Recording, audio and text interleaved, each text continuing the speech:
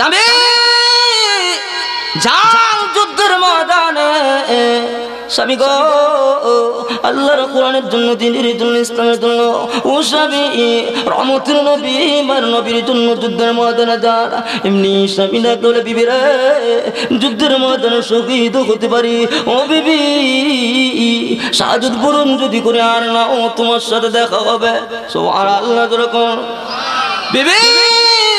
ওয়াদা দিলাম কেমতের ময়দানে তোমার সাথে আমার সাক্ষাৎ হবে। এমনি বিবি, স্বামীরে ডাক তোমার স্বামীরে। না, এমনি করে করো না। ও স্বামী জগতের ময়দানে দান রণাঙ্গরাতে দান স্বামী, আমার আকাঙ্ক্ষা আপনি যুদ্ধের ময়দানে যাইয়া শহীদ হবেন স্বামী গো কেমতের ময়দানে আমি শহীদের স্ত্রী হিসাবে দাঁড়াবো। আর একটু জোরা কর এমনি স্বামী, তোর বিবির ডাক দলে বিবিরে, ওয়াদা দে, আমার চার সন্তানকে জেহাদের ময়দানে পাঠাবি। সোভান আল্লাহ কর বিবি, ওয়াদা দে। আমি যদি শাহাদত বরণ করি শহীদ হয়ে যায় আমার চার সন্তানকে আল্লাহর নবীর জন্য আমাদের এই প্রতিষ্ঠান ফখরে বাঙ্গাল মিডিয়া রহমতুল্লাহ الحمد لله نحمده ونستعينه ونستغفره ونؤمن به ونتوكل عليه. ونعوذ بالله من شرور أنفسنا ومن سيئات أعمالنا. من يهده الله فلا مضل له ومن يضلله فلا هادي له. ونشهد أن لا إله إلا الله وحده لا شريك له. ونشهد أن سيدنا وسندنا وحبيبنا ومولانا محمدا عبده ورسوله الذي أرسل إلى الناس كافة بشيرا ونذيرا وداعيا إلى الله بإذنه وسراجا منيرا أما بعد فقد قال الله تعالى في كلامه المجيد وفي فرقانه الحميد أعوذ بالله من الشيطان الرجيم. بسم الله الرحمن الرحيم لقد كان لكم في رسول الله أسوة حسنة وعن النبي صلى الله عليه وسلم قال الدين النصيحة أو كما قال عليه الصلاة والسلام اللهم صل على محمد وعلى آل محمد كما صليت على إبراهيم وعلى آل إبراهيم إنك حميد مجيد. اللهم بارك على محمد وعلى آل محمد. كما باركت على إبراهيم وعلى آل إبراهيم إنك حميد مجيد صدق الله العظيم আজকে সেন্দ পশ্চিমপাড়া আরবি খান মানব কল্যাণ যুব সংগঠনের উদ্যোগে। নূরে জামি মসজিদ এর উদ্যোগে তেত্রিশতম তিন দিন ব্যাপী তাফসির করণ মাহফিলের সম্মানিত সভাপতি দামাদ বরকাত মোহাম্মদ আজিল্লাহুল আলী। উপস্থিত আছেন হজরত মোলামাই কেরাম, উপস্থিত আছেন ইসলাম যে মুসলমান ভাইরা। পর্দার অন্তরালের শ্রদ্ধিয়া সম্মানিত মা ও বোনেরা। সর্বপ্রথম লাখো কোটি শুক্রিয়া জ্ঞাপন করি। মহান মালিকের দরবারে যে মালিক আপনাকে আমাকে। দিনের মার্কাজ তথা কোরআনের মার্কাজ তথা জান্নাতের বাগানে আসা এবং বসার তৌফিক দান করেছেন। এজন্য সকলে কালিমাত শুক্র আদায় করি, পড়ি, আলহামদুলিল্লাহ। নবীজির খেদমতে লক্ষ কোটি দুরুদ এবং সালাম। যিনার আদর্শ এবং তরিকার মাঝে মহান আল্লাহ, দুনিয়া এবং আখরাত অবৈধ আইনের কামিয়াবি এবং সফলতা রেখেছেন। আল্লাহ রব্বুল আলামিন বলেন, বন্দা আমার নিয়ামত পেয়ে নিয়ামতের শুকুর আদায় করলে আমি মহান আল্লাহ বন্দার নিয়ামত সমূহ বাড়িয়ে দেব। আর যদি বন্দা ও শুক্রিয়া জ্ঞাপন করে, আমি আল্লাহ তার নিয়ামত সমূহ ছিনিয়ে নেব এবং তাকে কঠোর আজবে গ্রেফতার করব। এটা দুনিয়ার কোনো বাচ্চার কথা না, দুনিয়ার এমপি মন্ত্রীর কথা না। দুনিয়ার মেম্বার চেয়ারম্যানের কথা না, এটা এমন একজন হাকিম, এমন একজন রব, এমন একজন মালিক এই কথা বলছেন যিনি আসমান এবং জমিন সমস্ত কুলকায়নাতের মালিক আল্লাহ। তিনি ইচ্ছা করলে আমাদেরকে এই মুসলমান না বানায়, বেঈমান কাফেরও বানাইতে পারতেন পারতেন কিনা? আর একটু জোরে কোন। পারতেন। শুধু মানুষ না তিনি ইচ্ছা করলে বিলাই খুব তন্ডার বানাইতে পারতো পারতো নেই। আল্লাহ এমন হাকিম, এমন সত্তা যিনি আগেও ছিলেন, এখনও আছেন, পরেও আপনারা আমার বাসা বুঝেননি তাহলে হা হু কইন। আল্লাহ এমন সত্তা, এমন হাকিম তিনি আগেও ছিলেন, এখনও আছেন, পরেও থাকবেন। তিনি হলেন চিরঞ্জীব। আল্লাহ পাক পুরানুল হাকিমের মধ্যে আল্লাহ দুই হাজার আয়াতের মধ্যে আল্লাহর কুদরতের কথা বলছে। আর দুই হাজার আয়াতের মধ্যে আল্লাহ অতীতের কথা বলছে। আর দুই হাজার আয়াতের মধ্যে পরকালের কথা বলছে। আল্লাহ পাকের পাঁচ হাজার নাম আছে এক হাজার তৌরাতে এক হাজার ইঞ্জিলে এক হাজার জাবুরে, এক হাজার কোরআনুল কারিমে, এক হাজার আল্লাহ পাকের কুদরতি আরও সে চার হাজার নয়শো নিরানব্বইটা নাম হয়েছে আল্লাহর সিফুতি নাম। একটা নাম হয়েছে জাতি নাম, যে নামটা হলো আল্লাহ। আল্লাহর হাবিব বলেন আল্লাহ আল্লাহ আল্লাহ। আল্লাহর পরিচয় কি? আল্লাহ বলেন, আল্লাহ ইল্লা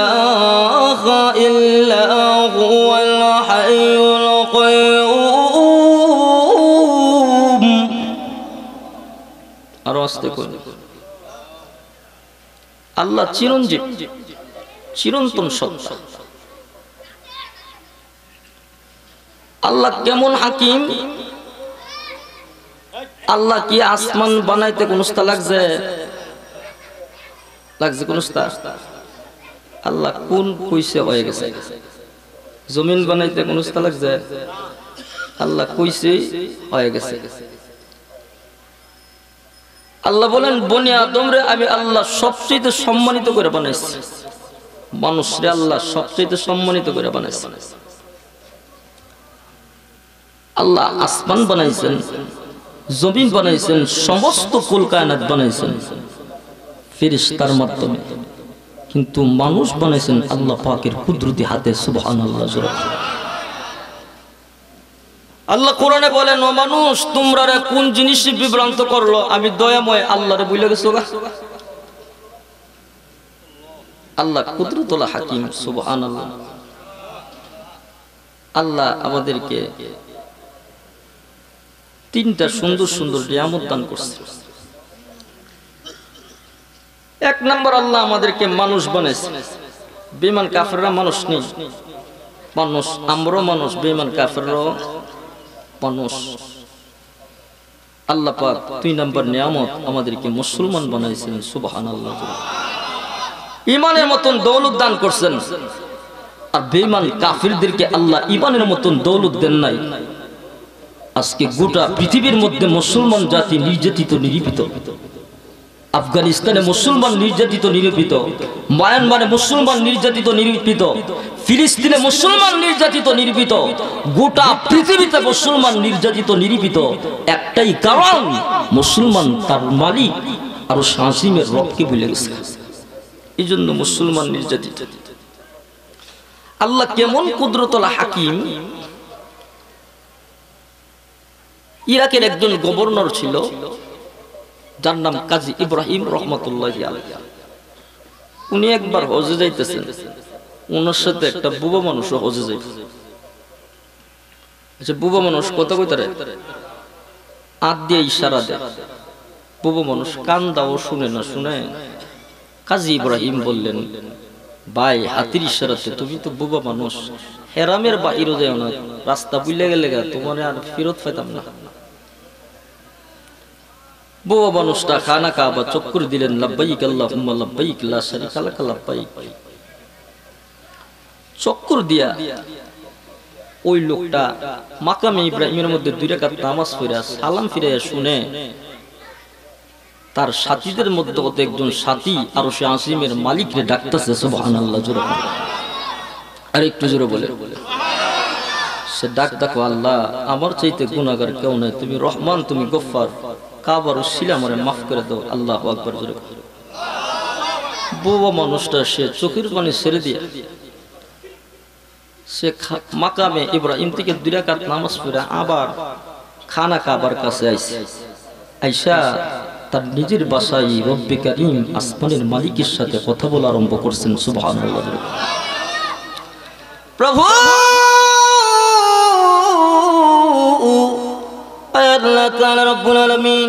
প্রভু গো! আমি বোবা মানুষ, কথা বলতে পারি না। ও প্রভু, কিন্তু ওই মানুষটা তোমার আল্লাহ বলে ডাক দেয়। আল্লাহ, আমার মনে চাই, আমার জবন দিয়া তোমার একবার আল্লাহ বলে ডাক দেই, সুবহানাল্লাহ তোরা কোন আয় আল্লাহ, প্রভু গো আমার মনে চায়, তোমার একবার আল্লাহ বলে ডাক দে। আল্লাহ গো, আমি জানি আমাকে তুমি ইচ্ছা করে না জবান দিতে পারো। বুবা মানুষের বাসা আল্লাহ বুঝিনি। আর একটু জোরে কোন। আল্লাহ, আমার জবান তুমি খুলে দাও না। আল্লাহ গো, এই জবান দিয়ে তোমার আল্লাহ বলে ডাক দে। আমি বড় গুণাগার, আমি বড় না ফরমান আয় আল্লাহ, আমার জবান তুমি খুলে দাও। আল্লাহ, জবান যদি খুলে দাও, ওয়াদা দে জবান দিয়া কোনদিন আমার স্ত্রীরে ডাক দেব না, আমার সন্তানরে ডাক দিতাম না। আমার জবান দেয়া তোমার আল্লাহ কয়, আমি ডাক দিম, সুবহানাল্লাহ করে কোন। আল্লাহ, রব্বুল আলামিনকে ডাক বলেন প্রভু আমার জবানটা খুলে দাও না। আল্লাহ জবান খুলে দিলে সে রব্বে কারিমের দরবারে ডাক দিয়ে বলেন, আল্লাহ গো, আমার চাইতে বড় গুণাগার আমার চাইতে বড় না ফরমান কেউ না। ও প্রভু, আমি তোমার কুদরতি দরবারে এসে হাজির হয়ে গেলাম। আমার তুমি মাফ করে দাও। মাফ করণের মালিককে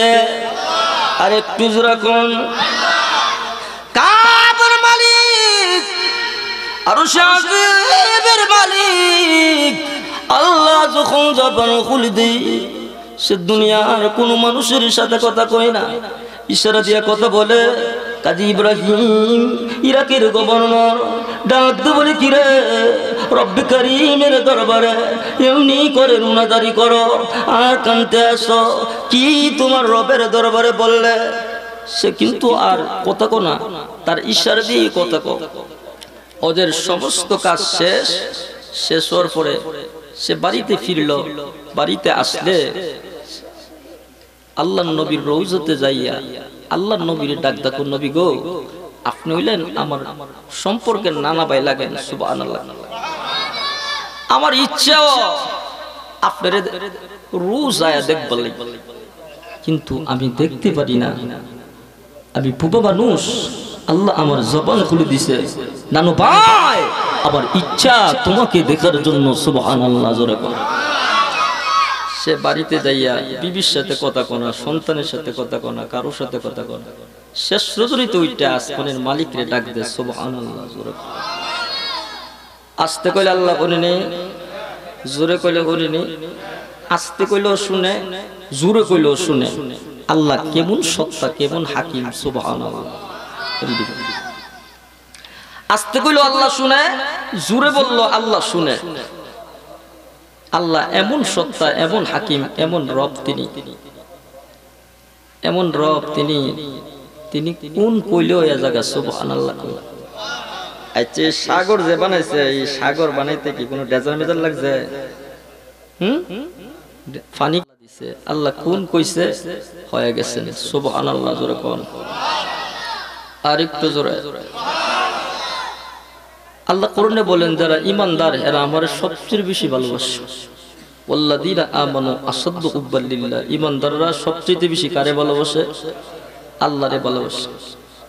কাজী ইব্রাহিম রহমতুল্লাহ আলাই লোকটারে ডাক্তার খুব ইশারা ইঙ্গিতে কথা বলে, একদিন দিনের নবী, রহমতের নবী স্বপ্নে দেখা কিরে কাজী ইব্রাহিম? আমি নবীর একজন আসে আল্লাহর একজন বান্দা, সে দুনিয়ার মানুষের সাথে কথা বলে না, আল্লাহ তার জবান খুলে দিছে। জবান দেওয়ার মালিককে আর একটু জোরে কর আচ্ছা এই জবানের দাম আছে নি? যে আপনারা ডাক্তারের কাছে গেলে কানের ডাক্তার তাহে চোখের ডাক্তার তাহে, হাতের ডাক্তার আছে ফাওয়ার ডাক্তার আছে হার্টের ডাক্তার আছে আসফুনি তো হুন শুননি জিব্বার ডাক্তার আছে। কি হুনছু জিব্বা দিছে এই জিব্বার মধ্যে তিন হাজার সাত দিছেন আল্লাহ, সুবহানাল্লাহ। এই জিব্বাটা যদি শেষ হয়ে যায় পৃথিবীর কোন ডক্টর আর বিজ্ঞানী জিব্বা বালা করতে পারত না।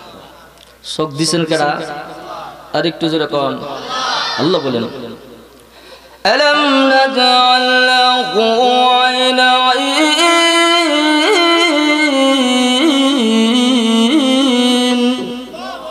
আমি কি তোমাদেরকে চক্ষু দুই দেই নাই চক্ষু দিয়েছেন কারা আরেকটু জোরে কয় আল্লাহ দিছেন আল্লাহরে একবার ডাক দিলে আল্লাহ বলেন, বন্দা, তুই জন্য আমার পাঁচ হাজার নামের গুণ কীর্তন করবে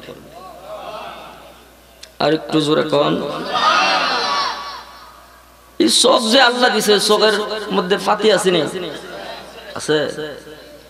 বিটিনের এক পুটি তার চোখের অ্যাক্সিডেন্ট করে তার চোখের ফাতি গেছে। চোখের ফাতি যখন গেছে মিনিটে মিনিটে চোখের মধ্যে ফানি দন লাগে। ব্রিটেনের সবচেয়ে বড় ডক্টর দাইলে ডক্টর বলছে, আরেকজনের ফাতি কেটে যদি তোমার ফাতি লাগান যা তাইলে এই রূপ ভালো বলে, কতটি লাগবো? বলে, এক কোটি টাকা দিল, ফাতি পাওয়া যেত। একটা গরিবের সন্তান ফাতি কেটে দিলে কন্ত আল্লাহ আকবার, শুধু ফাতি রিফিরেছে এক কোটি টাকা দিও ফাতি বালা করুন যান আল্লাহ কত বড় নিয়ামত দিছেন সুবহান আল্লাহ জুড়ে যিনি এর ফাতি দিছেন, তিনি কে? আর একটু জোরে কন। আল্লাহ। আল্লাহ পাকের কুদরত, দুই হাজার কুদরতের কথা কোরআনে বর্ণনা করছে। তো আল্লাহ আমাদেরকে জীব নিয়ামত দিছে, আবার আমানত দিছে। এই জিব্বার হেফাজত করতে হইব। চোখের হেফাজত করতে করতে নি? হ্যাঁ? লোকমান হাকিম দুই হাজার পয়গম্বরের সাথে সাক্ষাৎ। তিনি বলেন, দুই হাজার পয়গম্বর থেকে আমি সাতটা নসিহত গ্রহণ করছি। এক নম্বর নসিহত হইল, লোকমান হাকিম বলেন, আল্লাহরে বলুন যেত কারে বলুন যেত না? এর অর্থ হইল, আল্লাহর সাথে কাউকে শরিক করুন যেত না। শরিক করুন যাব দুই নম্বর হইল তার জবানের হেফাজত করুন না। তিন নাম্বার তার চোখের হেফাজত, চার নাম্বার কলবের হেফাজত। আমরা কলবের হেফাজত আছে নেই? আর একটু জোরে কোন? আল্লাহ আকবার। আল্লাহ তার হাবিব, তার রসুলকে পৃথিবীতে মডেল দিয়ে পাঠাইছে।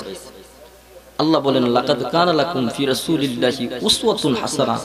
আমার হাবিব, আমার রাসূলকে আমি পৃথিবীতে মডেল হিসাবে পাঠাইছি। তারা নবীর মডেল, নবীর আদর্শ গ্রহণ করবে। এরা দুনিয়া তো দামি আখরা তো দামি। নবীর আখলাক, চরিত্র নবীর এক নম্বর আখলাক আছেন আল্লাহ বলা বন্দাদেরকে আল্লাহর দিকে ডাকতেন আল্লাহ বলা বন্দাদেরকে আল্লাহর দিকে ডাকতেন নবীর এক নম্বর আখলাক, আল্লাহ বলা বন্দাদেরকে আল্লাহর দিকে ডাকতেন নবীর আখলাক এবং নবীর চরিত্র কোথায় ঘটনা হয় জানেন না? কৌমি মাদ্রাসা থেকে। কোথায় হয়? কৌমি মাদ্রাসা আল্লাহ বলা বন্দাদেরকে আল্লাহর দিকে আহ্বান করেন। এই কোরআনের তফসির মাধ্যমে আল্লাহ বলা বন্দাদেরকে আল্লাহর দিকে আহ্বান করা হয় হয় কিনা আর একটু জোরে কোন?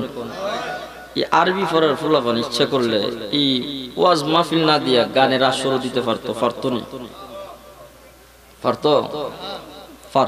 কিন্তু আল্লাহর এখানে কোরআনের তফসির দিচ্ছে কোরআনের আসলে লাভ আছে লাভ আছে লাভ না থাকলে কিন্তু বাঙালি আইতে রাজি না, রাজি? আল্লাহ আকবার। এই এখানে আসার উসিলে করে আল্লাহ আমরা নাজাতের জরিয়া করতে পারি। পারিনি আল্লাহ বন্দার বাহানা বিসেরে বিসেরে বন্দারে নাজাতের জরিয়া করবেন সুবহান আল্লাহ জোরে আর একটু জোরে কন। আমি আপনাদের সামনে যে হাদিসটা পড়লাম, এই হাদিসের ব্যাখ্যা মুহাদ্দিসিন কেরাম চারটা ব্যাখ্যা করলেন।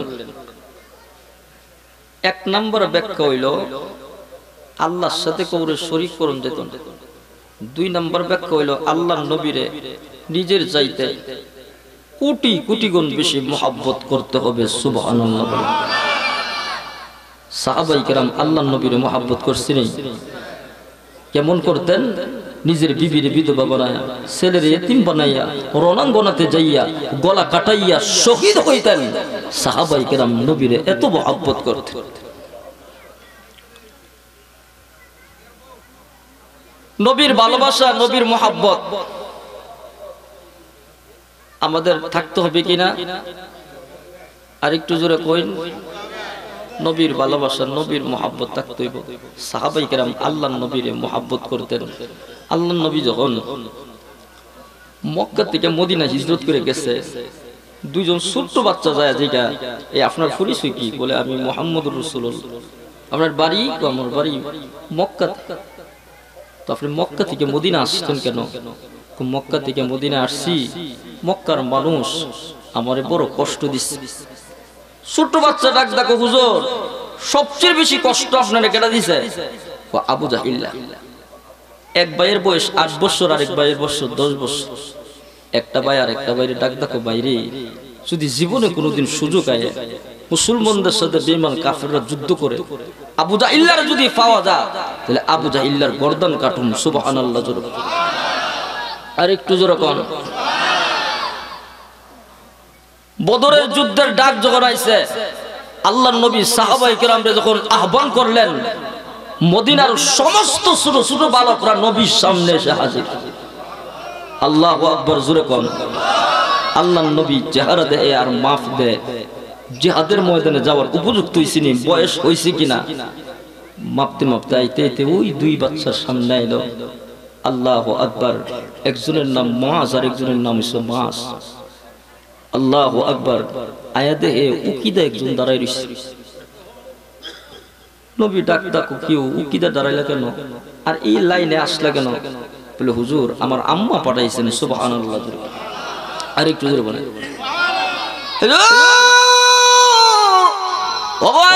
নবী আমার আম্মা আমাকে পাঠাইছে। এমনি নবীজি ডাকতে বলে, কেন? আমার আম্মা আমার আম্মা আপনারে বড় ভালোবাসে। আল্লাহ নবী গো, আমার মা বলেছে, আমার আব্বা না আমার আব্বা যদি থাকতো, তাহলে আমার আব্বারে পাঠাইতো। সুবহানাল্লাহ, জোরে কোন। ইয়া রাসূলুল্লাহ! অগরবিজি আমার আম্মা আমাকে যুদ্ধের ময়দানে পাঠাইলো। নবী গো, যুদ্ধের ময়দানে যাওয়ার অনুমোদন দেন। আল্লাহ নবী গো না না, ও ছোট্ট বাচ্চার অনুমতি নাই। আল্লাহ নবী ডাক দেখো, না, ও তো ছোট্ট বাচ্চার অনুমতি নাই। উকে দাঁড়াইছে তারা হুজুর, যুদ্ধের ময়দানে তো পানি আগে দন লাগবো। মুজাহিদরে আহত হইলে এর দরণ লাগবো। আল্লাহ নবীরে বলতেছে আল্লাহ নবী বললেন, যাও, তুমি যাও। আর একটু চাই দে আর একটা আট বৎসরের বাচ্চা। হ্যাঁ ও উকিদা, দাঁড়াইলিস। আল্লাহ নবী ডাক ডাকো তোমার ফাটাইছে করা বলে, আমার আম্মই ফাটাইছে। ওই যে সামনে যারা দিছেন, তিনি আমার বড় ভাই সব আল্লাহ জোরে বলে, তুমিও যাইতা, তুমি তো মাফি পড়ো না, শক্তি লাগবো, যুদ্ধের ময়দানে গেলে। ডাক ডাকো, হুজুর! আমাকে আর আমার বড় ভাইয়ের সাথে কুস্তি লড়াই করান। আমি যদি কুস্তিতে হেরে যাই, তাহলে আমার অনুমতি দিয়েন না। আল্লাহ নবী বললেন, যাও, কুস্তি লড়াই করো। ছোট ভাইরা, বড় ভাইরে ইশারা দিয়ে বুঝাইতেছে বাইরে তুমি আমারে দললে গেলাম আমি পারতাম না। তুমি যদি আমারে ধরো, তাহলে আমি পারতাম না। তবে শোনো আল্লাহ নবী যেদিন মদিনাতে আসছিলেন। ওই দিন আমি আর তোমার সাথে একটা চুক্তি হয়েছিল সোবান আল্লাহ মনে আছে নি? বলে, মনে আছে। কুস্তি লড়াই শুরু। প্রথম ধাক্কাতেই বড় ভাই ফিরেছে গানিস। সোবান আল্লাহ বদরের প্রান্তরে কতজন সাহাবি ছিল? মাত্র তিনশত তেরো জন সুবহান আল্লাহ জুড়ে বলেন। বদরের প্রান্তরে মুসলমানদের সংখ্যা হলো তিনশো তেরো জন। বেইমান কাফেররা সহস্র, অস্ত্র, শস্ত্র সহ। মুসলমানদের সংখ্যা মাত্র তিনশত তেরো জন। মুসলমানদের গুড়া মাত্র দুইটা, তলোয়ার নয়টা, এর মধ্যে পাঁচটা তলোয়ার বাঙ্গা। পাঁচটা তলোয়ার বাঙ্গা। আল্লাহ নবী আর আজিমের মালিকের কাছে হাতটা উঠাইয়া দোয়া করতেছেন সুবহান আল্লাহ আর একটু কোন প্রভু! তাআলা রব্বুল আলামিন। প্রভু গো দিন মধ্যে ঈদ লইয়া হাজির হইলাম। আয় মুসলমানরা অস্ত্র নাই, শস্ত্র নাই, কিছুই নাই। আয় আল্লাহ অস্ত্র, শস্ত্র সহ আদির আল্লাহ গো, আমার উম্মতদেরকে তুমি শহীদ করে দিও না। সব আল্লাহ যখন আল্লাহ রব্বুল আলামিন জানা দিলেন হাবিব না কান্দেন না নবী গো বদরের প্রান্তরে সুতোতের জন্ম ঈদ মাত্র। আমি আল্লাহ কলম জিম্বাদার। সব আল্লাহ তোরা কোন? আল্লাহ জিব্রাইল কে ডাকতে বলে জিব্রাইল। যা বদরের প্রান্তরে যা। জিব্রাইল, বদরের প্রান্তরে কিন্তু একা যায় বানা সঙ্গে বাহিনী লয়া যাও। সব আল্লাহ তোরা কোন? জিব্রাইল! রহমতের ফিরিস্তা লয়া বদরের প্রান্তরে এসে হাজির। আল্লাহ নবীকে ডেকে ডেকে বলে আল্লাহ নবী গো কান্দেন না আমি জিব্রাইল হাজির। নবীজি, তিন হাজার সৈনিক বদরের প্রান্তরে পাঠায় দিলাম। দুই হাজার আরও আছে। আল্লাহ একবার জোরে কোন একজন সাহাবী আল্লাহ নবীকে ডেকে ডেকে বলে, নবী গো যুদ্ধের ময়দানে তরোয়ালটা ঘুরাইলাম। আমার তরোয়ালটা বিমান কাফের গলা যায় না, কিন্তু কল্লাটা আলগা হয়ে গেল। কে গো? কল্লাটা আলগা করল। আল্লাহ নবী তখন ডেকে ডেকে বলেন, সাহাবিরা রে, বল আল্লাহ তার কুদরতি ফিরিস্তা পাঠাইছে। ওই আল্লাহ এখনও রে আর একটু জোরে কন। রে আছে? ওই আল্লাহ এখনও আছে। কারণ আমরা আমল নষ্ট হয়েছে সাহাবাই কেরাম দিনের বেলা রোজা থাকতেন, রাতের বেলা তাহাজ্জুতের সময় পড়তো। দিনের বেলা করতেন, রাতের বেলা আসমানের মালিকের থাকতেন। আসেনি? আর একটু জোরে কোন। বিমান কাফেররা এই যুবকরা খালিদ বিন ওলিদ রদি আল্লাহ আনহুর উত্তর এই যে যুবকরা এই মাহফিল করতেছে, খালিদ বিন ওলিদ রদি আল্লাহ এমন একজন মানুষ, যিনি নারী তাকবীর বলে তলোয়ার উঠাইয়া আল্লাহ আকবার নিচে নামাইলে, একসাথে সত্তর হাজার তলোয়ার পড়তেন, সুবহানাল্লাহ জোরে কোন। এক যুদ্ধের ময়দানে সাহাবাই কেরামের সংখ্যা মাত্র ষাট জন বেমান কাফেররা এক লক্ষ। আল্লাহ আকবার সাহাবাই কেরাম পরামর্শ করতে বসলেন পরামর্শ আল্লাহর হুকুম, রসুলের শূন্য সাহাবাই কেরাম পরামর্শ করবেন, কেমনে যুদ্ধ করব? মুসলমানদের সংখ্যা মাত্র ষাট জন বিমান কাফেররা এক লক্ষর উপরে।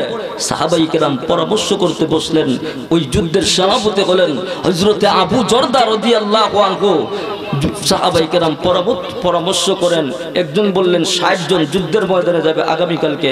আরেকজন বললেন, তিরিশ জন। আরেকজন বললেন দশজন আস্তে আস্তে খালিদ বিন অলিদের কাছে আসলে হজরতে খালিদ বিন অলিদ বললেন, শোনো, একাই একজন মুসলমান যুদ্ধ করব বিমান কাফিরদের সাথে। আমি খালিদ বিন ওলিদ একাই লড়া করব, সুবহানাল্লাহ।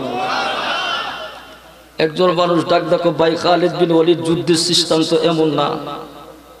যুদ্ধের সিস্টেম এরকম না। খালিদ বিন ওলিদ রাদিয়াল্লাহু ডাকদা বললেন, শুনো!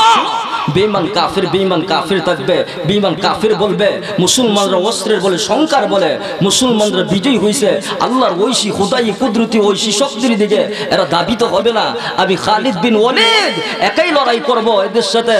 মুসলমান পরাজিত, মুসলমান বিজয় হবে আল্লাহর খুদাই সাহায্যের কারণে। বেঈমান কাফেররা আল্লাহর দিকে দাবিত হইবে, এরা বলবে, মুসলমান অস্ত্রের বলে যুদ্ধ করে না সংকার বলে যুদ্ধ করে না, খুদাই ঐশী শক্তির বলে যুদ্ধ করে, সুবহানাল্লাহ। আরেকজন ডাক ডাকো, ভাই খালিদ বিন ওলিদ, আপনি এমন মানুষ, তিনি ডাকদা বলেন, শোনো, বেঈমান কাফেররা হলো মুর্দা, আর আমি খালিদ বিন ওলিদ হলাম জিন্দা, একটা জিন্দা মানুষ, এক লক্ষ মুর্দার সামনে কিছুই না, সুবহানাল্লাহ। এক লক্ষ মুর্দা, একটা জিন্দার সামনে আইব। হ্যাঁ আল্লাহ নবী কোন, যারা কালিমা পড়ছে, এরা হয়েছে জিন্দা। জিতা কালিমা পড়ছে না তো মুর্দা। আপনারা কোনছেন দি, মুর্দা মানুষ কি জিন্দার লোকে যাইব? আর একটু জোরে কন। আল্লাহ আকবার। আবু জরদার আল্লাহ বললেন, ভাই খালিদ, দশজন কালকা যুদ্ধের ময়দানে যাইব। বলে, জি, ঠিক আছে। আবিরের কথা গ্রহণ করল সব আনাল্লাহ জোরে কর আর একটু জোরে কন। হজরতে খালিদ বিন অলিদ রদি আল্লাহ ডাকদা বললেন, যে সমস্ত সাহাবিদের নাম ঘোষণা হয়েছে যারা যুদ্ধের ময়দানে যাইবেন, আপনারা রাত্রের বেলা ঘুমায়েন রাতের বেলা আর একটু জোরে কান। কেউ রকুতে, কেউ সেজদা, কেউ এমনি আসমানের মালিকের দিকে হাত উঠায় আছেন, প্রভু গো, আগামীকালকে যুদ্ধের ময়দানে যাব, রণাঙ্গনাতে যাব। তোমার দিনকে প্রতিষ্ঠিত করার জন্য, তোমার নামকে প্রতিষ্ঠিত করার জন্য, আল্লাহ তুমি আমাদেরকে বেজ্জুতি করো না, ইজ্জত দেওয়ার মালিককে। আর একটু যেরকম সকালবেলা যুদ্ধের ময়দানের দিকে রওনা হইবেন একজন সাহাবি, ডাক দেখো ভাই খালি আমি তো বাজারে যাইতেছিলাম, শুনছি নবীর সাহাবিরা যুদ্ধের ময়দানে যাবে এই জন্য আমি তোমাদের পরামর্শতে বসলাম। আমিও তোমাদের সাথে যুদ্ধের ময়দানে যাব। আমি আমার বিবিতে বললে আসি শুভ আনাল্লাহ কইল বিবিরে যায়, ডাক দেখো বিবিরে নবীর সাহাবিদের সাথে রণাঙ্গনাতে যাব। মাত্র দশজন সাহাবি রণাঙ্গনাতে যাবেন। বিমান কাফেররা এক লক্ষর উপরে। আমার ইয়কিন এবং বিশ্বাস যুদ্ধের ময়দানে শহীদ হতে পারি। তোমার থেকে জীবনের শেষ বিদায়টা নেই সুবহান বিবি, ও কেমন? সুবহান আল্লাহ স্বামী, যাও যুদ্ধের ময়দানে। স্বামী গো, আল্লাহর কোরআনের জন্য, দিনের জন্য, ইসলামের জন্য, ও স্বামী নবী, মার নবীর জন্য যুদ্ধের ময়দানে যান। এমনি স্বামী না যুদ্ধের ময়দানে শহীদ হতে পারি। ও বিবি সাহায্য পূরণ যদি করে আর না ও তোমার সাথে দেখা হবে। সো আর আল্লাহ যেরকম। বিবি! ওয়াদা দিলাম। কেমতের ময়দানে তোমার সাথে আমার সাক্ষাৎ হবে। এমনি বিবি, স্বামীরে ডাক তোমার স্বামীরে, না, এমনি করে করো না। ও স্বামী, জগতের ময়দানে দান রণাঙ্গনাতে দান স্বামী, আমার আকাঙ্ক্ষা আপনি যুদ্ধের ময়দানে যাইয়া শহীদ হবেন। স্বামী গো কেমতের ময়দানে আমি শহীদের স্ত্রী হিসাবে দাঁড়াবো। আর একটু জোড়া কর এমনি স্বামী, তোর বিবির ডাক দলে বিবিরে দে, আমার চার সন্তানকে জেহাদের ময়দানে পাঠাবি। সোভান আল্লাহ কর। বিবি, ওয়াদা দে। আমি যদি শাহাদত বরণ করি, শহীদ হয়ে যায়। আমার চার সন্তানকে আল্লাহর নবীর জন্য, রহমতের নবীর জন্য, দিনের নবীর জন্য রণাঙ্গনাতে পাঠাবে। এমনি বিবিরা করে স্বামীরা, ওয়াদা দিলাম, আমার সন্তানদেরকে জাহাজানা ময়দানে পাঠাবো। সব আনাল্লাহ রকম বিবি, আমার সন্তান ময়দানে পাঠাবি এই জন্য। নবীর উম্মতেরা আল্লাহ আকবার, যে আজের ময়দানের রণাঙ্গনাতে যাইয়া যদি গলা কাটাইয়া নবীর সাহাবিরা শাহাদত না বরণ করত তো যুদ্ধের ময়দানে গেছে না, আমরা কেরা যাইতাম? কইতাম নি, এমনি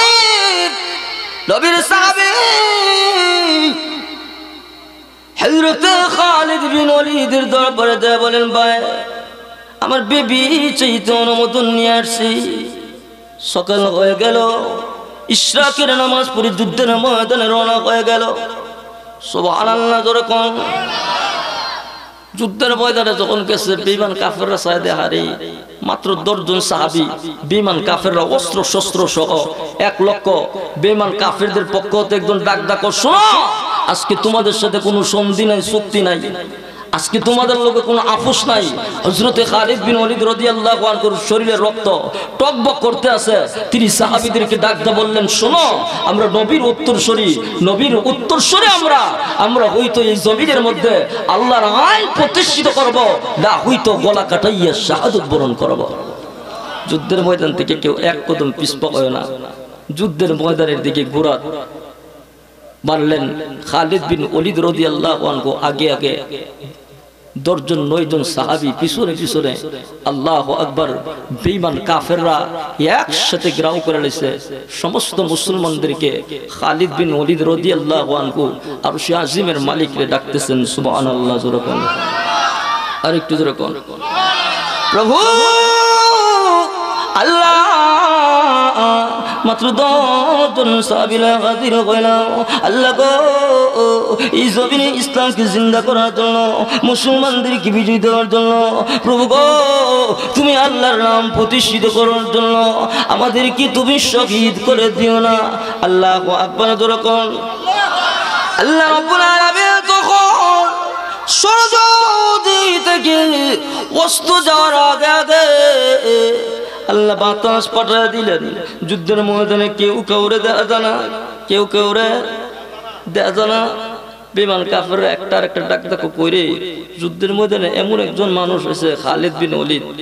নারে তাকবীর করে তরল উঠাইয়া আল্লাহ আকবর বলে, নিচে নামাইলে একসাথে সত্তর হাজার পরে। তোরা বাগবে একটা আর একটার পাও বেরি লাগা। সোবান আল্লাহ জোরে কইন। একটা আর একটার পাও বেরি লাগা বেরি লাগা, আল্লাহ কুদরত লাগাই দিছে। আল্লাহ আকবর, জোরে কন। একটা আর একটার পাও বিড়ি লাগা। কেমন বেহুবের বেহুব বানাইছে, একটা আর একটা বিড়ি লাগা। বিড়ি লাগায়া তলোয়ার উঠাইয়া বলে নিচে হাজার তলোয়ার কন। আল্লাহ সূর্য উদয় থেকে অস্ত হওয়ার আগে আগে মুসলমানদেরকে বিজয় দিছেন ওই আল্লাহ আসেনি হ্যাঁ? ওই আল্লাহ মুসলমানরা অত নির্যাতিত কেন? হুম? একটা মুসলমান আর একটা মুসলমানের দেখতে পারে না। ঠিক নেই? আর একটু যেরকম দেখতে পারে না। আচ্ছা এই হুমকি দামকি দিয়া কি কোরআনের তফসির বন্ধ হইব? আর একটু যেরকম যে যত ষড়যন্ত্র করুক না কেন তফসির কোনো বন্ধ হইব? খুদাই বিয়া যখন সন্ধি ছিল সন্ধির সময় বেইমান কাফেরার সাথে চুক্তি দশটা। দশটা চুক্তি কাফেরদের পক্ষে। সন্ধির চুক্তিটা আমার মধ্যে মোহাম্মদুর রসুল্লাহ লেখা ছিল। বেমান কাফেরের ডাক দেখো, মোহাম্মদ, তোমার সাথে এটা নিয়ে আমাদের সাথে বেরো। রসুল শব্দ কেটে দাও। আল্লাহ নবী হজরতে আলীকে ডাক দা বলেন, আলী, রসুল শব্দটা কাটো। হজরতে আলী ডাক ডাকো নবী গো, আমার কল্লা গেল, রসুল শব্দ কাটতাম নবীরে কত মহাব্বত করে জোরে কইন। আর একটু জোরে কইন। আল্লাহ নবী ওমর ওমরকে ডাকতে বললেন, ওমর! রসুল শব্দ কাটো। হজরত ওমর কো, হুজুর, আপনি অনুমোদন দিলেন বেঈমান কাফিরদের সাথে একা লড়াই করুন, কিন্তু রসুল শব্দ কাটলাম না। আর একটু জোরে কন। আল্লাহ নবী নিজে রসুল শব্দ কাটছেন আল্লাহ কোরআনে আয়াত নাজিল করে জানাইছেন মোহাম্মদ রসুল্লাহ নবী গো, মক্কার বেঈমান কাফের না, গোটা পৃথিবীর মানুষ যদি আপনার নবী না কো, তাতে আসে যায় না আপনি। আমি আল্লাহ বললাম, আপনি রসুল সুবহান আল্লাহ আমাদের রসুল কেমন রসুল কইতাম নি? আর জোরে কন। আল্লাহ আদম নবীরে বানাইলেন নবীরে বানাইলেন, আল্লাহ মুসা নবীরে বানাইলেন তৌরত দিলেন। আল্লাহ আকবার নবীদেরকে কিতাব দিলেন। আল্লাহ, তিনি তিনি তার হাবিবকে আল্লাহ মোহাব্বত করেন সুবহান আল্লাহ আর একটু জোরে কন।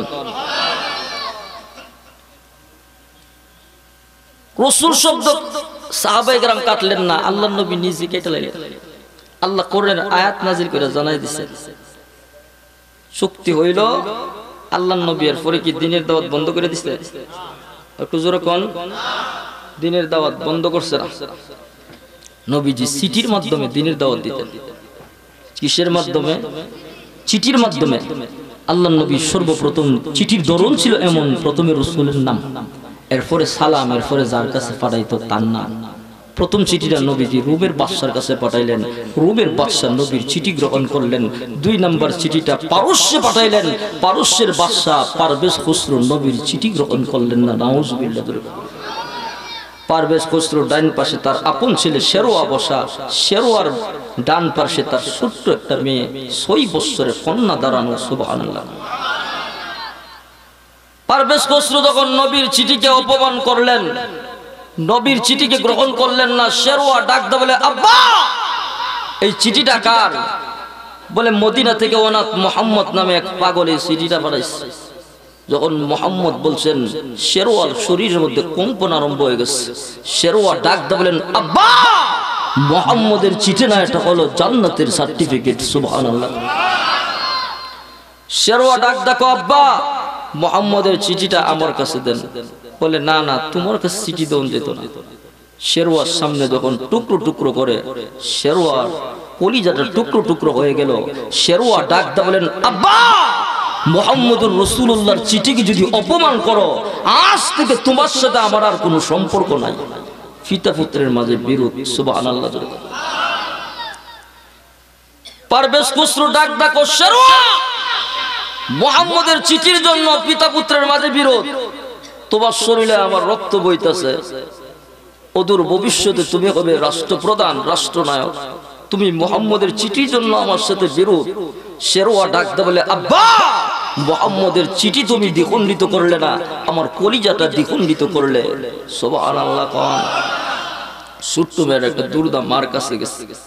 মা তৌরাতের বড় আলেম ছিলেন সুবাহান মা!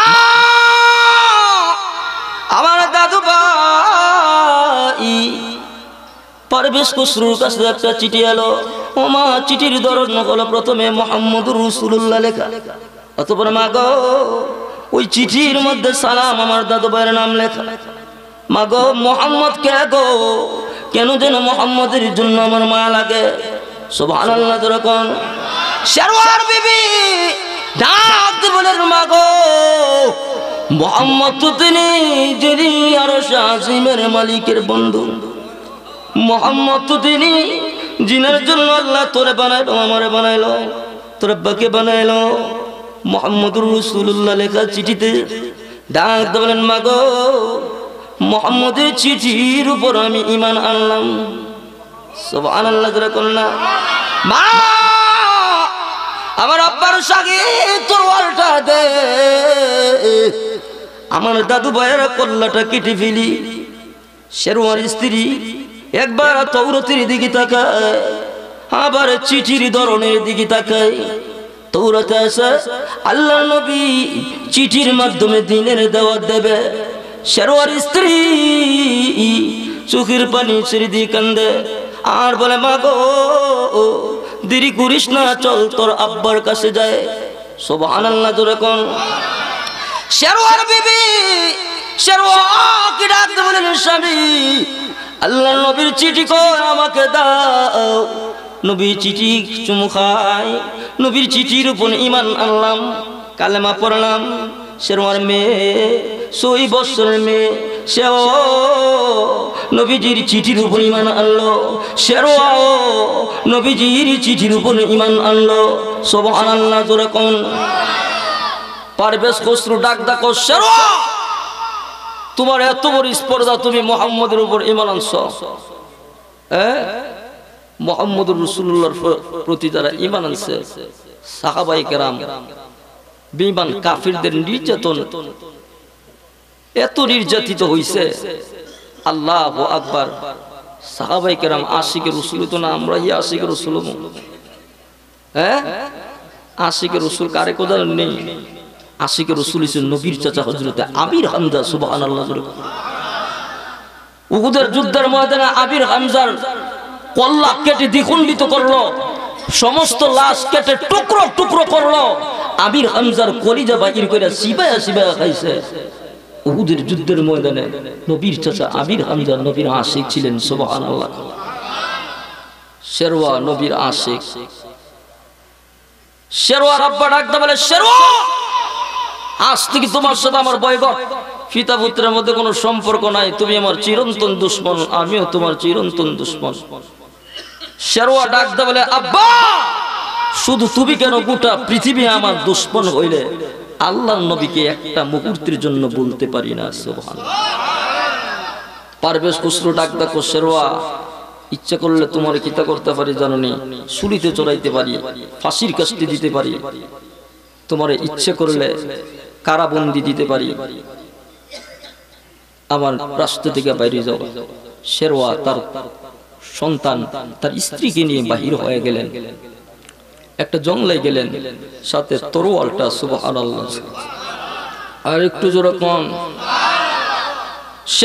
জানায় দিল, শেরওয়া! মোহাম্মদের কল্যাণের জন্য তিন লক্ষ সোলজার ইয়ামানে পাঠানো হবে। ইয়ামান থেকে আরও পঞ্চাশ হাজার সৈনিক যাবে। মদিনা থেকে মোহাম্মদের জীবিত অথবা মৃত আনবে। শেরোয়া ডাকতে বলেন আব্বা! তোমার সাথে আমার কোনো সম্পর্ক নাই। নবীর দুশ্মন শোন। আল্লাহ নবীর গায়ে ফুলের আঘাত লাগলে তোর কল্লা কিন্তু থাকবে না সুবহান আর একটু জোরে কন। নবীর আঘাত শুইতে পারে না। শেরওয়া তার বাহির থেকে বাইরে হইলেন। তিন লক্ষ সুলজার পাঠাইলেন। ইয়ামান থেকে পঞ্চাশ হাজার, সাড়ে তিন লক্ষ মদিনার বর্ডারে গেলেন। একদিন, দুদিন, পাঁচ দিন হয়ে গেল। ছোট্ট মেয়েটা কিচ্ছু হানা। মা ডাকদা বলেন, মাগো, আজকে পাঁচ দিন এসে কিচ্ছু খাও না। ডাক দেখো, মাগো, রহমতের নবীর খবর না আসা পর্যন্ত কিচ্ছু খাইতাম না। আর একটু জোরে কন। শেরোয়া রাত্রিবেলা আসলো, মেয়েকে ডাকদা বলেন, ও মা, কিচ্ছু খাও না কেন? ডাক দেখো, আব্বা, কেন যেন মোহাম্মদের জন্য আমার মায়া লাগে? শুভ আনাল্লাহ জোরে বলো। আব্বা! কেন যেন মোহাম্মদের জন্য আমার মায়া লাগে। আব্বা গো পারবেশ কুসরু তিন লক্ষ সুলজার এমন থেকে পঞ্চাশ হাজার সুলজার সৈনিক পাঠাইলো। না জেনে গো, আল্লাহর নবীর গায়ে আঘাত করে। আল্লাহ আকবর শেরোয়ার বিবি, স্বামীর ডাক দোলে স্বামীরে, যাও না মদিনার বর্ডারে রহমতের নবীর জন্য কে গো দেব? আল্লাহ আকবর যেরকম শেরোয়ার বিবি ডাক বলেন স্বামীরে জিন্দিতে কোনো কিছু চাই না। একটা আবদার, নবীর দুশ্মন পারবেশ খসরুর কল্লাটা এনে দাও না। আর একটু জোরে কোন ছোট্ট আব্বা কি ডাক বলেন, আব্বা গো, কোনো কিছু চাই না। ও আব্বা, নবীর দুশ্মনের কল্লাটা এনে দাও না। সব আল্লাহ জোরে কোন। শেরোয়া রাতের বেলা ঘুমাইলেন। আল্লাহ আকবার, তিন লক্ষ সুলজার মদিনার বর্ডারে গেলেন, সাড়ে তিন লক্ষ। দশজন তীরন্দাজ, দশজন এমন যুদ্ধ গেলেন, যারা একা এক হাজার লোকের সাথে যুদ্ধ করতে পারে। মদিনার বর্ডারে ঢুকলেন, যায় সাহাবাই কেরামরে জিজ্ঞাসা করলেন, তোমাদের নেতা মোহাম্মদ কই? তার অট্টালিকা কই? সাহাবাই কেরাম বললেন, শোনো, আমাদের নেতা মোহাম্মদুর রসুল্লাহর অট্টালিকা নাই। মসজিদ নবীতে যাও আল্লাহ নবীকে পাইবা সুবহান আল্লাহ মসজিদে নবীতে গেলেন।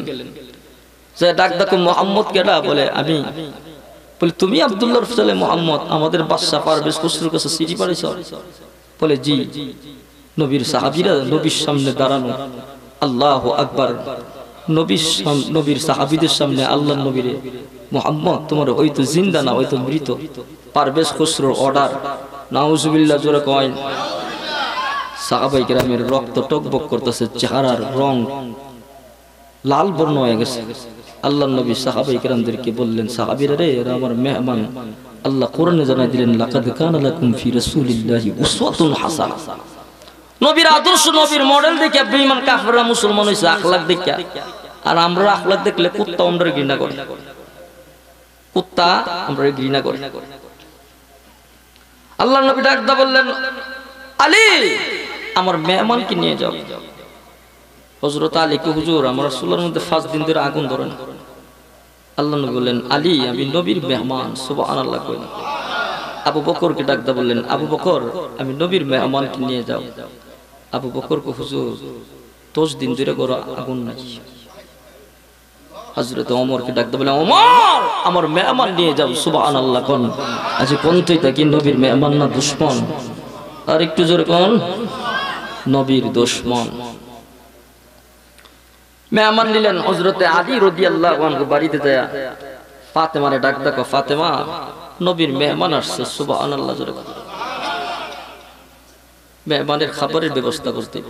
হজরতে ফাতেমা ডাক দেখো স্বামী মদিনার বাজারে আমার উড়নাটা নিয়ে যান।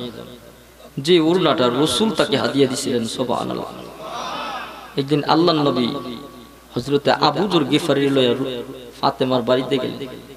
যা ডাক ফাতেমা, কারণ ফেডের হিতে থাকতে পারে না।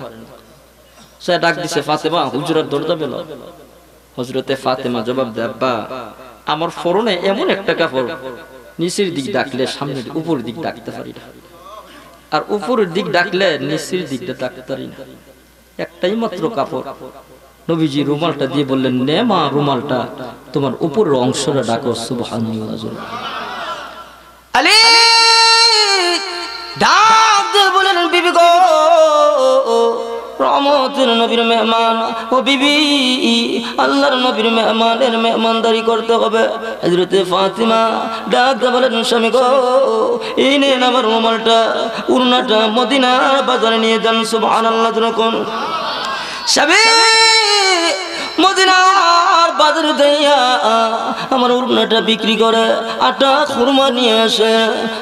আলী ফাতিমার হয়ে গেল মদিনার বাজারের আল্লাহ বলে যা মদিনার বাজারে যা। আমার বন্ধু কলিজার টুকরা ফাতেমা, একটাই মাত্র কাপড়, যে উড়নাটা আমার নবী হাদিয়া দিল। জিব্রাইল রে, ওই উড়নাটা দুনিয়ার কেউ কিনবে? না আমি মহান আল্লাহ কিনবো। আর একটু জোরা কোন। মদিনার বাজারে যায়। আর মদিনার লোকদেরকে ডাকদা বলে, মদিনার লোকরা রে, মদিনার বাজার বন্ধ করো না। আমি নবীর কলিজার টুকরা ফাতেমার উড়না নিয়ে আলাও কেউ কে আসুনি? তার উড়নাটা কিনবে। এমনি তাকে দেখে একজন মুসাফির গুড়া নিয়ে দাঁড়ায় আছেন। সুবহানাল্লাহ, জোরে কোন।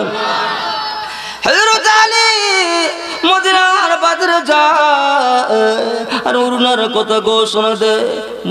ডেকে ডেকে বলেন, কে গো? কি তোমার পরিচয়? অরুণার কত? এমনি ডাকতে বলে দেরি করো না।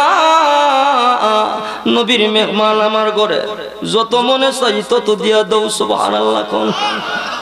যত মন চাও তত দৌ আল্লাহ আকবার। জিব্রাইল আমিন চারশত দিরহাম দিলেন। দুইশত দিরহাম দিয়ে আটা খুরমা। মেহমানের জন্য মেহমানদারির যত ব্যবস্থা নিলেন দুই দুইশত দিরহাম সাথে আল্লাহ ডাকতে বলেন জিব্রাইল রে এই উড়নাটা আবার বিক্রি করে দে সোবাহান আল্লাহ হজরত জিব্রাইল রাস্তার মধ্যে ঘোষণা দেয় কেউ কি আসো উড়না কেন কেনবা দুইশত দিরহামের বিনিময়ে? হজরত আলী দুইশত দিরহাম দিয়ে ফাতেমার উড়নাটা কিনে নিলেন সোবাহান আল্লাহ আর একটু যারা কন। হজরতে আলী খাবার দাবারের ব্যবস্থা হইল। ফাতেমার ডাক, দেখো ফাতেমা জানো এটা কেমন মেহমান? নবীর দুশ্মন। আল্লাহ নবীরে কতল করার জন্য আসছে। হজরতে ফাতেমা ডাক্তার সাবে আবার একই নান বিশ্বাস, নবীর মেহমান, আল্লাহর মেহমান। আল্লাহর মেহমান কোনোদিন নবীকে হত্যা করতে পারে না। আর একটু জোরে কোন। হজরতে আবু বকরের ঘরে যে মেহমান, আবু বকর সিদ্দিক তার মেহমানদারির ব্যবস্থা করলেন সিজদাই পড়ে গেলেন শেষ রাত্রে। আসমানের মালিক মালিকরে ডাকদা বলেন, মালিক রে, আমি আবু বকর জীবদ্দশায়, আবু বকর আল্লাহ নবীকে ভালোবাসি। শুনেছি তিন, সাড়ে তিন লক্ষ সুলজার মদিনার বাহিরে। আয় আল্লাহ, আমি আবু বকরের জীবন দিতে পারি, কিন্তু আল্লাহ নবীকে যেতে দেব না, সুবহানাল্লাহ আব্বা কোনা না, এমনি সে পাগল পরা হয়ে গেল। স্ত্রীর কাছে যায় বলল, বিবি রে, দীর্ঘ তিরিশ বছর তোর সাথে সংসার করলাম। বিবি! একটা আল্লাহ তুই জান্নাতে যেতে পারব। বিবি বলেন দুনিয়ার আমার কোন স্বামী ছিল না। ময়দানে মাসরে যুবকটা পাগলার মতন ঘুরে বেড়ায়। আকারে কে রে আমাকে এই ময়দানে মাসরে সাহায্য করবে? আল্লাহ আকবার, জোরে বলেন। একজন পথিক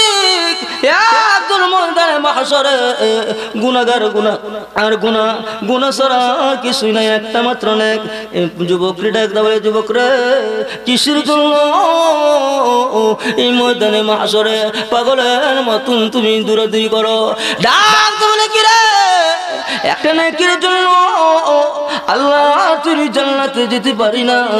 এই জন্য দৌড়ায় আল্লাহ আকবার। ওই গুণাগারটা বলে, শোনো, আমার একটা মাত্র নেক। আমার নেক না নিয়ে আল্লাহ তুই জান্নাতে তুমি চলে যাও। সব আল্লাহ কোন। এবার যুবক, একটা লয়ে দৌড়াই আরও মালিক। কি বলে আল্লাহ গো? এই একটা নেক একটা নেক নিয়ে আল্লাহ ডাকতে বলে এই নেকটা কি তোর দিল? বলে, না না, তোর আব্বা দিল। বলে, না না, তোমার স্ত্রী দিল। বলে, না না, কে দিল? আল্লাহ, তোমার একজন বন্দা, শুধু গুনার গুণ একটা মাত্র নেক। সে আমাকে একটা নেক দিয়ে দিছেন সোবাহ আল্লাহ তোরকম আল্লাহ! আমার ওই বন্দরের নিয়া আমি আল্লাহর সামনে ময়দানে মাসরে লক্ষ কোটি কোটি মানুষ, কে করে খুঁজে বেড়ায় এমনি সে পাগলের মতন দৌড়ায় আল্লাহর কুদরত বুঝে দেয় না, ওই লোকটা তার সামনে পড়ে গেল। এমনি ডাকতে বলে, শোনো, আসমানের মালিক তোমার আজকে ডাকতেছে। সে আল্লাহর দরবারে দেয় না, কোন মুখলে আল্লাহর দরবারে যাবে? শুধু গুনার গুনা ডাক ধরে যুবক, না না, আমি আল্লাহর সামনে যেতাম না। কোন মুখলে যাব? আমার তো শুধু গুনার গুনা আল্লাহ যে ইদু বলছে, আল্লাহ দরবারে যাই। আল্লাহ ডাক দে বলে কিরে বন্দা, তোর তো শুধু গুনার গুনা একটা নে কোন কারণে আমার বন্দার তুই একটা দেয়ালাইছস এমন গুণাগার ডাক বলবে, প্রভু গো। দুনিয়ার জমিনে তোমার হাবিবের উম্মতের আলেম থেকে শুনছিলাম। বলে, কি শুনছিলা? দুনিয়ার জমিনে তোমার উম্মতের আলেম থেকে শুনেছি, কেউ যদি কাউকে দুনিয়ার জমিনে একটা হাজত পূরণ করে দেয়, তুমি তুইটা হাজত পূরণ করবে।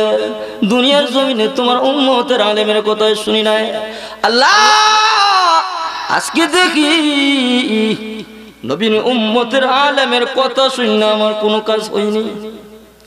আল্লাহ ডাকদা বলে, কিরে বন্দা, এখন তোর কি উপায়ব সে ডাকদা বলবে, আল্লাহ গো, আজকে তুমি ছাড়া আমার আর কোনো উপায় নাই।